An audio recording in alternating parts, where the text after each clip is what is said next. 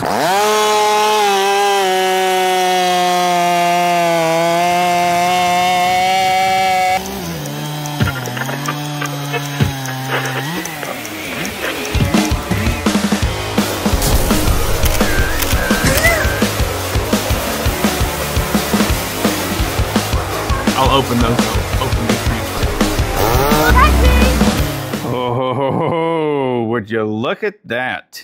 What the hell is going on there?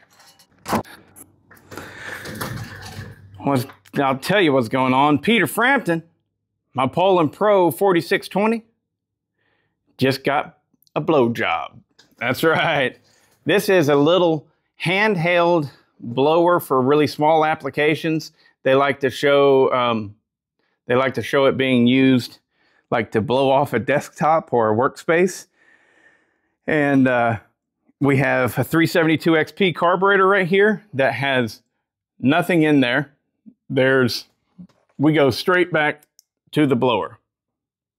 All right. Um,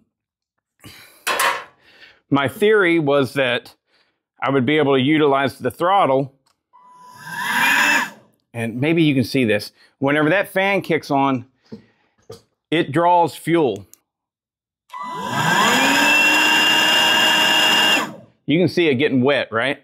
So to start it, all you really have to do is hold down that blower a little bit. That'll get some fuel going and, and then it'll fire up and run.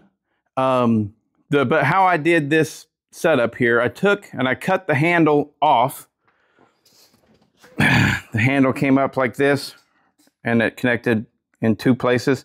I just cut it off and I built this mount going down and it bolts down to the bottom of the tank. I have two 9 volt batteries ran uh, parallel actually, so it's only 9 volts. So it's only 9 volts going to this Holley fuel pump. The fuel pump is capable of about 7 psi and it is not blowing past the seat in there. Um, however, the seat was staying closed, the needle seat on this side, because the air moves back and forth, the impulse air, and it drives your fuel pump on this side, but it seems like it also drives this diaphragm over here on this side, moving it back and forth, and that's what allows fuel to even flow in at all. And um, so what I had to do was I had to bend open that uh, that needle valve, bend it open so that just whenever I put the cover on there, it was already releasing pressure so that fuel would flow. Um, I was really happy about this. This is the actual electric trigger from the blower itself, and I got it to mount inside this handle. Pretty slick, huh? Uh, we got a rechargeable battery right here. Oh, there we go. We pull off, mounted that up, you know, with some wire on the inside of it. And, you know, it's working. Uh, it's getting the job done. But you guys, I'm sure, want to see this in the wood. For the exhaust, this had already been modified and I just cut some extra holes there so that it would flow well out the exhaust. So the way that I did this video um, is uh, it, it, it, I already ran it. It just, I was testing it. I didn't think it was going to run. It, it did. And so I know how it runs, but you guys want to see for yourself. So here it is. Okay, ladies and gentlemen, Peter Frampton gets a blowjob. so I have fired it up. I know that it will start. I don't know how well it runs or anything like that. Um, I've got it set what I think to be really rich. I got both the high and the low jet turned two full turns out. And um, we'll just go for it and See if she cuts.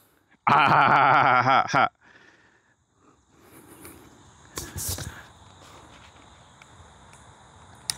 have to shut it down every time that I want to make a tune, you know?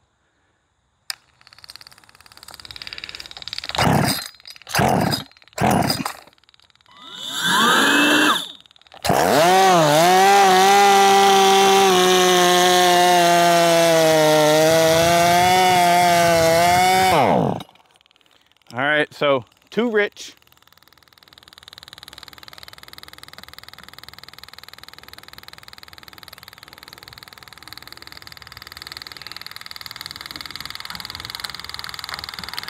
We're doing a half a turn in on both.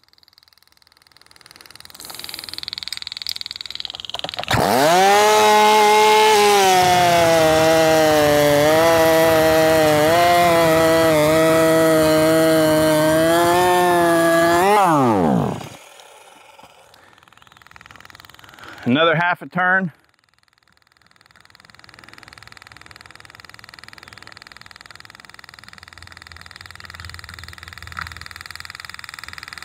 It is really nice to uh, have the screws right there.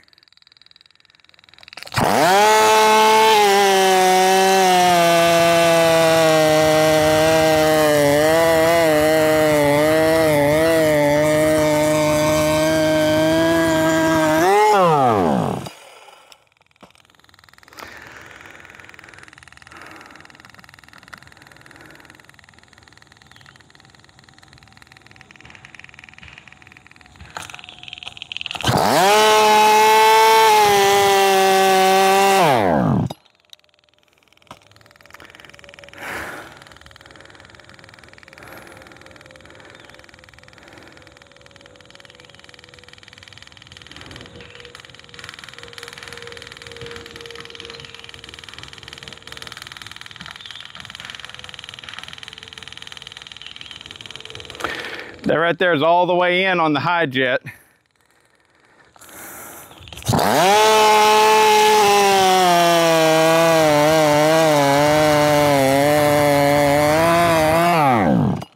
That's clearly too lean. I think it's clearly too lean.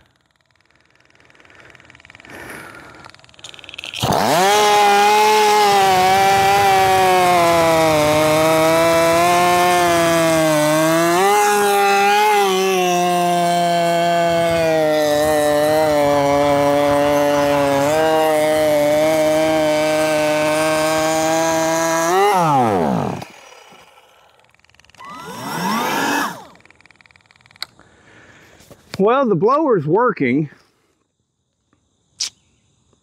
It just doesn't seem any more powerful than it was before. So, uh, yeah. Mediocre. I guess the thing to do would be to go back in it and change the intake timing and uh, um, allow it to pull in a lot more fuel. But honestly, I don't think I'm going to do that. Uh, she running as it is. I don't even have to. Let's try a cut without touching the trigger at all. Let's let's try that.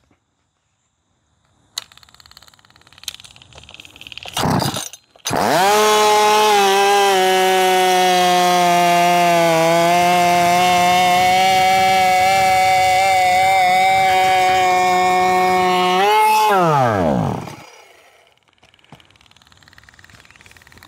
know about y'all, but I saw literally no difference whatsoever between me hitting the trigger and not hitting the trigger.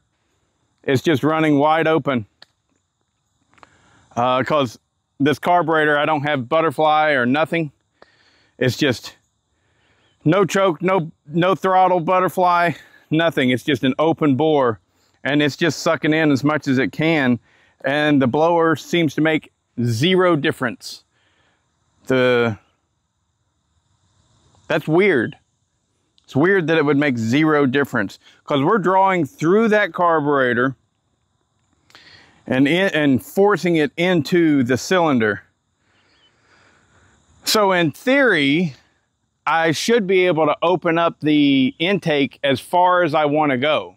Like I could do a 100 on the intake, you know, uh, so 200 degrees of duration because you can't spit it back because the blower is pushing it in. But uh, weird, the blower doesn't make any difference at all. uh, but it's pretty nifty. Will it be fast enough to win at Sawfest? Shit, no. If it is, bad on you other porters, man. Because it's, it's, maybe it's a little bit faster than it was before. Maybe.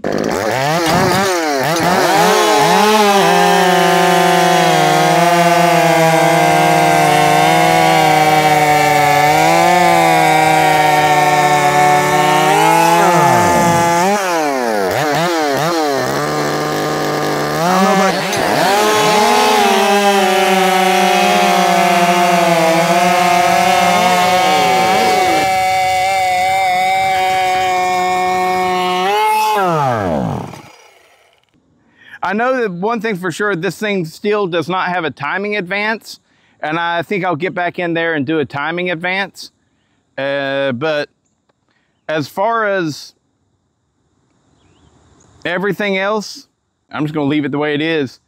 I might not even start it again into the day of Sawfest. We'll see how it goes. But that's uh, how do I put this mildly? That's about close to as good as you can get with trying to blow a piston ported two stroke. And that's why it doesn't really seem to work because as soon as the exhaust opens, you lose all of your pressure that's above the piston.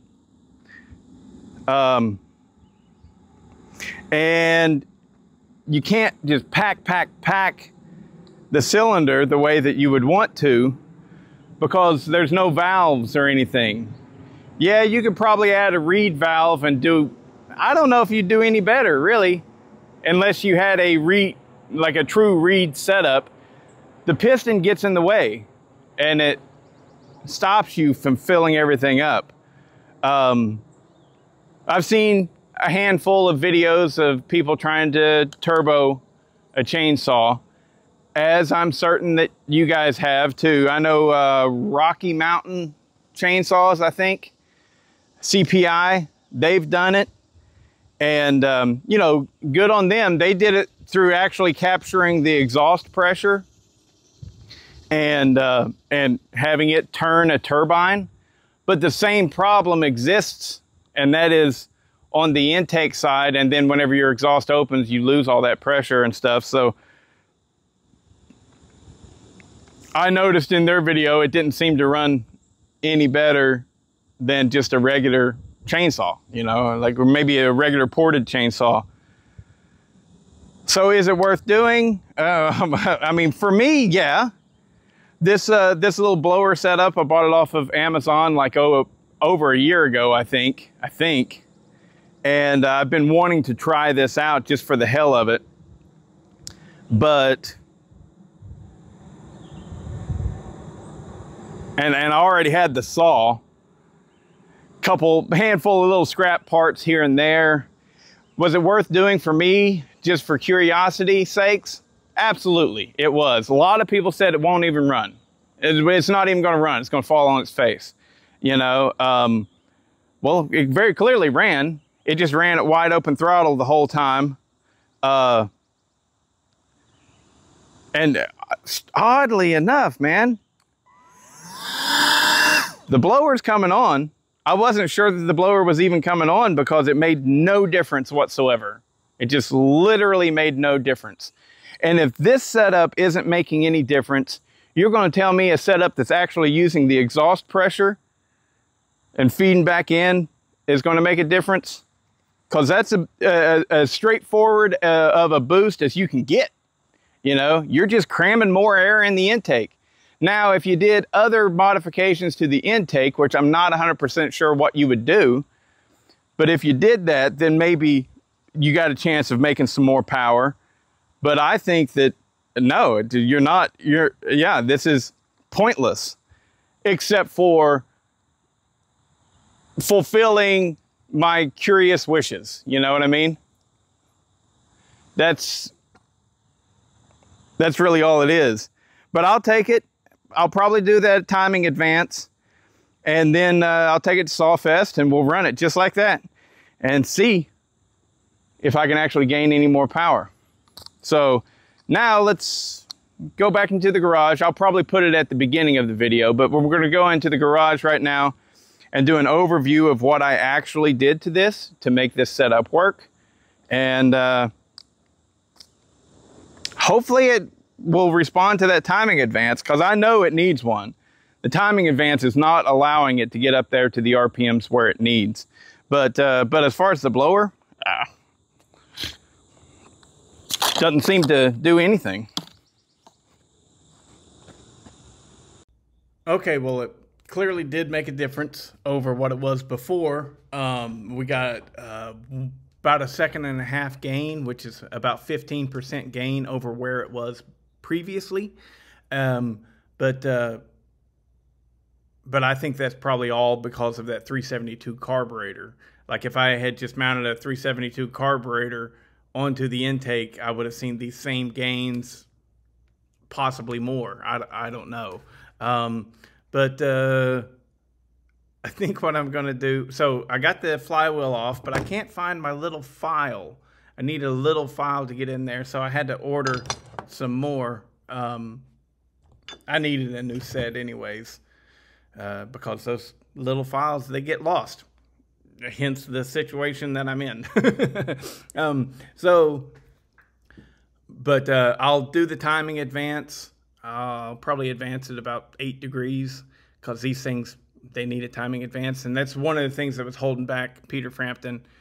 Anyways, uh, I, I knew it needed a timing advance. I just that was early on whenever I was that was one of the earlier saws that I ever ported and uh, you know whatever uh, and I, I, think that I'll probably just go ahead and fill it up with uh, methanol do the timing advance not running at all get up there to Sawfest fill the son of a bitch with methanol and turn those screws out to about two and a half turns and send it and maybe we'll blow it up because this thing right here, it's uh, you know, once this little Sawfest is done, it's just going in the trash can. I don't know. I might keep it and put it up there on the shelf just because, but it, it's so big. It's got that stupid blower sticking out the top of it now.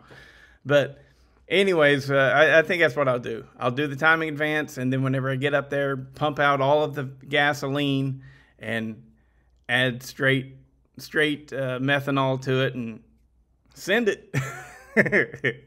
Hopefully, it'll do all right. Boy, it didn't stand a chance against darkness, did it? darkness was like, nope. See you, bitch. You. it's it's that's that's kind of funny.